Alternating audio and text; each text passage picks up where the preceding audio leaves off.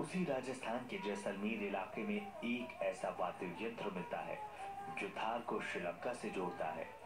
कहते हैं कि लंका के राजा रावण ने ही ये वीणा इजाद की, जिसे रावण के हस्त वीणा कहें या रावण हत्ता, इसमें सात सुरों का जादू मिलता है।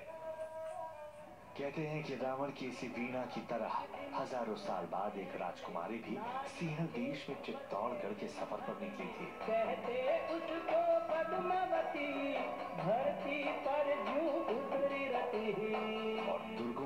दुर्ग में पहुँची थी जो बादलों से बात किया करते हैं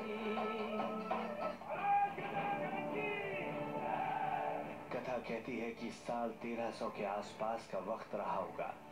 जब सिंहाला देश यानी श्रीलंका के राजा रहे होंगे, गंधर्व सिंह और गंधर्व सिंह की ही बेटी हुई होगी पद्मावती, जो घोड़ों को दौड़ाना जानती होगी, तलवारबाजी करना जानती होगी और खूबसूरत इतनी कि धरती पर उस जैसा दूसरा कून न रहा होगा। कथा कहती है कि उस राजकुमारी का चित्तौड़ के राजकुमार रतन सेन से हीरा मन तोते ने संवाद कराया होगा।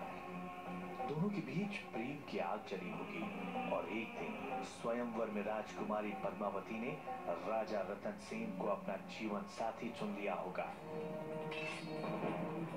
कथा का एक वर्जन कहता है कि पद्मावती, यानी पद्मिनी ने खुद से श्रेष्ठ तलवारबाज को स्वयंवर में चुनौती दी होगी और राजा रतन सेन से तलवारबाजी के साथ साथ दिल भी हार गई होगी। जिसके बाद पद्मिनी ने उस किले में कदम रखा होगा, जो सदियों से अजय रहा होगा, जिसकी विजय पताका कोस कोस तक दिखती रही होगी।